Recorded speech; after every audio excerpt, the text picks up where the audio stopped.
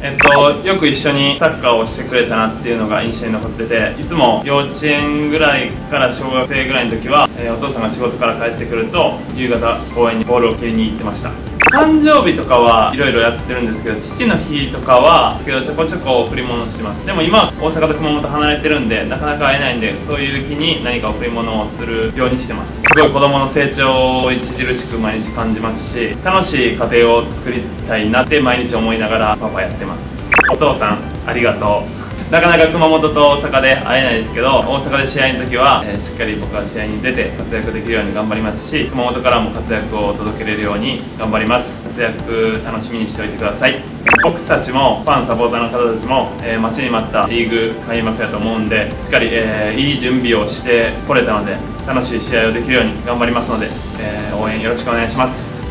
自分の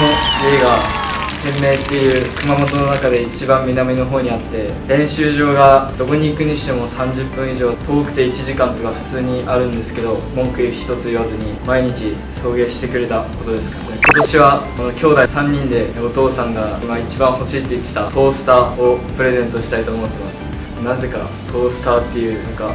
マニアックなことを言ったんで、まあ、それを3人でプレゼントできたらいいなと思います。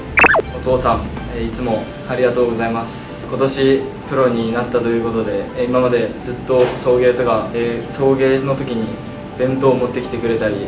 そういう支えてもらったので今年はそのお父さんに恩返しっていう形で結果と試合にたくさん出てプレーで恩返ししたいなって思ってます。しっかりプレー見ててください。お願いします。今年高校卒業して若いんですけど、まあ、そんなの関係なしに年齢関係なく自分の持ってるプレーの特徴であったりを全力で試合にぶつけて勝利に貢献できるように頑張るので応援よろしくお願いします。